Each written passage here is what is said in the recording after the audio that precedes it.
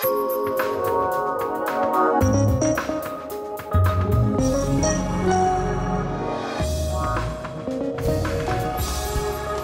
the U.S., over 49 million students attend public elementary and secondary schools.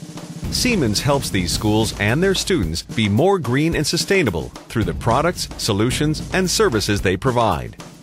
Working with kindergarten through high school uh, to some of the largest colleges and universities in the U.S., Siemens has helped to improve building performance, and that means really to be more energy efficient and to create a better overall environment for their hundreds of thousands of students as well as their faculty. A great example is at Stevenson High School in Illinois. Adlai E. Stevenson High School, located in suburban Chicago, is home to 4,600 students, faculty, and staff. Since opening in 1965, Stevenson has become one of the leading high schools in America. Its 76 acre campus features state of the art facilities, such as a 1,200 seat performing arts center and an Olympic sized swimming pool. Stevenson is also the first high school in the country to receive LEED Gold level certification for existing buildings from the U.S. Green Building Council.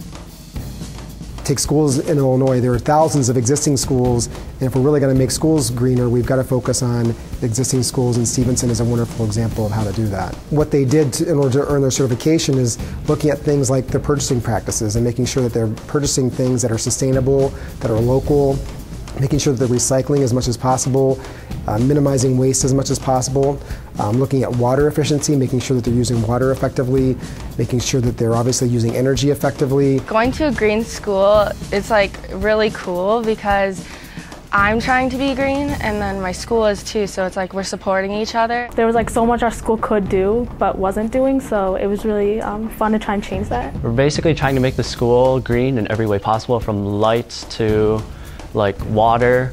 The question is how can we take contemporary students and give them examples of physics and chemistry and math and science and make them contemporary to clean energy technologies because the links don't really exist there.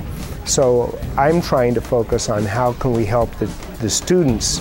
Over the years, as energy costs increase, uh, sustainability became an issue and a concern.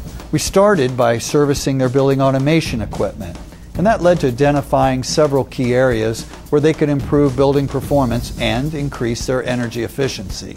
We realized quickly what they were wanting to accomplish, and it was both on the sustainability side, um, some green initiatives, their LEED objectives and their goals, as well as just handling their mechanical infrastructure. We did a full assessment of all the mechanical systems uh, of the BAS system and came back to them with a, a, full report of recommendations. And we began to explore how we could organize to become more sustainable and what the issues were.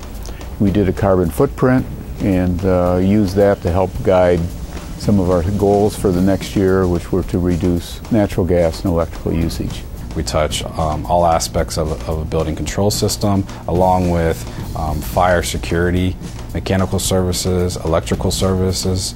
We've also brought in divisions of our of Siemens Industry through industrial automation, low voltage, and some other aspects that allow us to address pretty much any situation that arises. Siemens' partnership with Stevenson extends well beyond the LEED certification as they are an active partner in the school's green team, helping to develop the curriculum around green technologies in their science labs, and providing and maintaining important data that is displayed on the school's green touchscreen kiosk.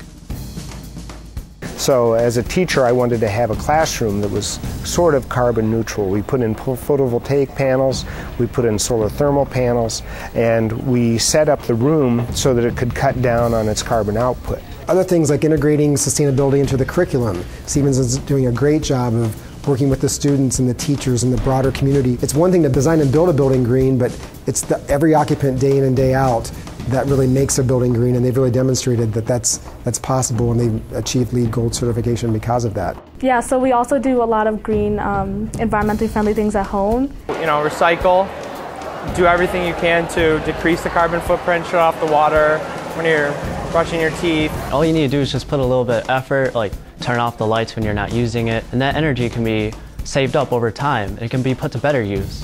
And this is not only helping the school and the environment, it's going to educate everybody here so they too can get involved and be green. The whole process of having students understand what the school is doing is really just the beginning of, I think, a big national movement, if not worldwide movement.